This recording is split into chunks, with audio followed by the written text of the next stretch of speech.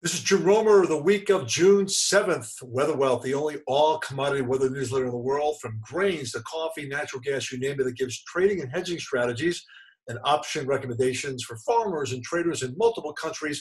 We hope that we can help you. Also, in ETFs for very conservative uh, novice commodity traders, particularly if you trade the stock market. Today, we're going to be talking about a dome, not the dome of my head, not this uh, major dome in India, nor the Dome of the Rock of course, in Jerusalem, but we're talking about a high pressure dome. This particular high actually represents warming air aloft that blocks off moisture to the Midwestern breadbasket. Maybe once every six to 10 years it actually happens. But because of weakening La Nina, because of ocean temperatures off the coast of California cooling, we have this high pressure ridge. Now, the dome started to create dryness in the spring wheat areas over the last four weeks resulting in a 20% move in spring wheat. But I do see some rain in the forecast in the short term up in North Dakota and Canada. So be careful. I'm not sure would want to be buying spring wheat at, at this point. It may be a shorting opportunity uh, with some rains and this overbought market in the short term. Other types of domes, of course, are the Bermuda High that steers hurricanes. When you see the high in that position, um, off the coast of uh, North Carolina, you tend to have more hurricanes uh, steered toward Florida, which is a possibility this summer and fall, as opposed to last year where things were much more in the uh, Gulf of Mexico. You have the high in that position, that Bermuda high, you have more of a southerly flow, and you have hurricanes uh, like we had several years ago.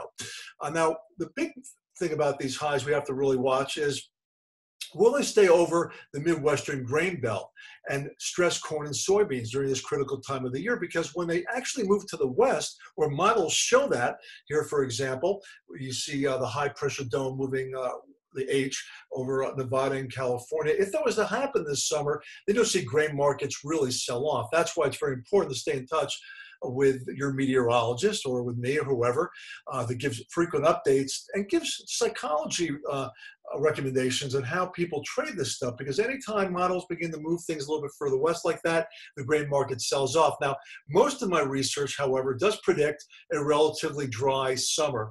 This is based on those two stars you see on top. Uh, my in-house software, Climate Predict, uh, the AO index, and also the SOI, a reflection of whether we have a La Nina or an El Nino. We still have weak La Nina conditions, and the AO index being such that we're seeing all this kind of melting uh, sea ice right now. Look at this.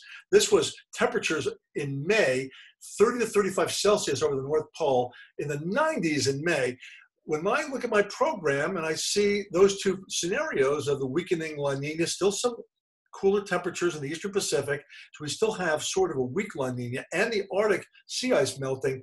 The result you see there is a relatively dry summer. That could be really, really explosive in the grain markets, but things could change in the short term. So how do you trade this stuff? Well, corn, there's multiple ways to trade corn. I mean, you can trade options, you can trade futures, you can trade ETFs, which are much more conservative. Look at this back in 2012 to the left of your screen there, that dome was once again over the Midwest, that high pressure ridge aloft. Corn prices exploded as the drought expanded. Now, why did corn prices drop to the right of your screen there? Actually, the center of your screen in the late summer of 2012. Once again, that ridge went out to the west uh, actually for several weeks, like that, brought cooler temperatures and rains, and it also pressured the natural gas market. Look at that in 2012, how natural gas was going up um, because of the hot early summer, but then collapsed once the dome went out to the west. So how do you trade this stuff? How do you get a longer term view? You could use options uh, trades. You could do spreads in natural gas, buying nearby or selling deferred contracts. You can just buy futures if you're aggressive. You can take a basket of commodities and buy ETFs and multiple ones. So if, if some of them actually go down, other ones actually go up. That's a more conservative thing to do. And again, we advise clients all over the world with our Weather Wealth newsletter twice a week and how to do all this stuff and how this dome will affect both natural gas and grain trading this summer. Enjoy. Have a very nice week.